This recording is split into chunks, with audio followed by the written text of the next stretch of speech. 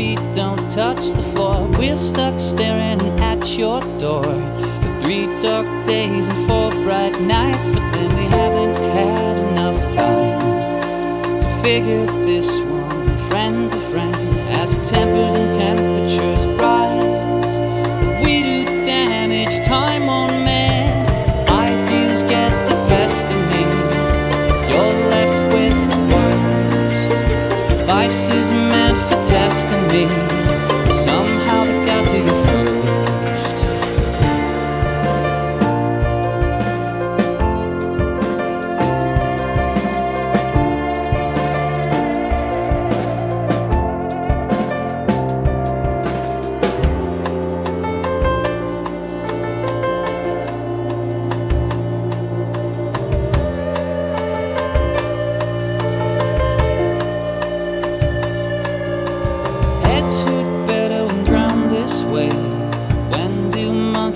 become demons? And all that matter dissolved one day.